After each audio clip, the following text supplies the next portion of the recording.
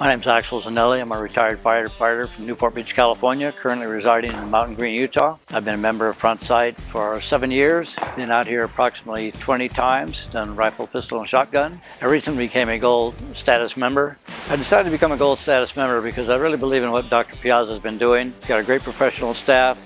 The training is excellent and I would like to see this continue to grow and expand. I'd like to thank Dr. Piazza for what he's done and continuing to fight to support the Second Amendment. Dr. Piazza, I just want to let you know that we're behind you and support you 100%. I would like to see you to have continued success and see this facility grow to become the finest in the world.